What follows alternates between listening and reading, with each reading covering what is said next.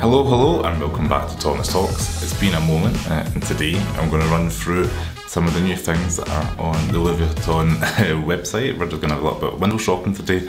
It's been a wee moment since I've done one of these kind of what's new videos. I'm going to run through some of the things, what to buy, uh, and what I quite like. Uh, and yeah, we're just going to crack on with this video, so hopefully you guys enjoy.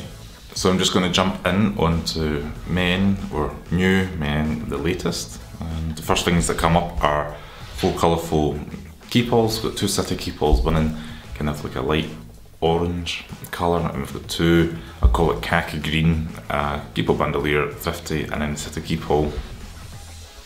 And we've got one in plain black. I do quite like that khaki green colour, um, just in general, um, even like the phone case, etc. Quite nice. We've got an iPad pouch pocket organisers as well.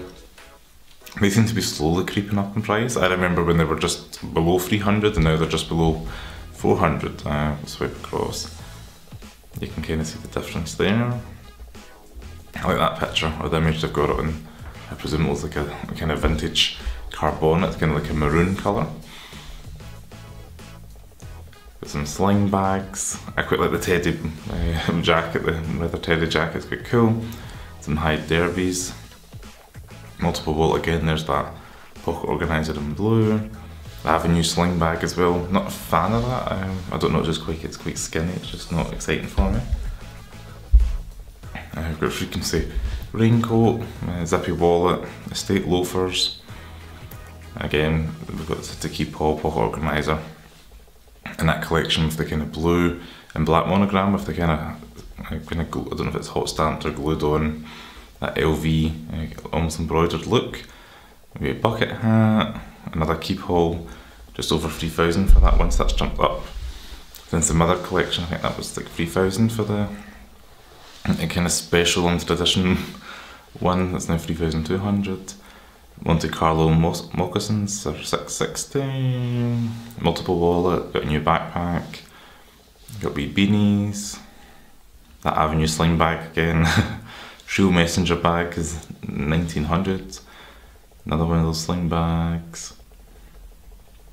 Denim jacket, a t-shirt, uh, 700 odd. Major loafer. Some of the stuff's quite nice and some of it's quite um, plain. Uh, like again, we've got the beanie the kind of mint green. You could just wear that and it's kind of blending in. And like a subtle way, the dove necklace, which I have think we've seen before. Uh, and then got the Charlie trainers I quite like. That LV, if I open that up quickly. Yeah, you can see like the LV's kind of going onto the sole the shoe, uh, something a little bit different. Ideal if you were in somewhere dry, uh, but here in Scotland it's raining all the time, that's not ideal. Got a belt, the briefcase. Actually the briefcase looks alright, got a small LV logo at the side, ideal for work.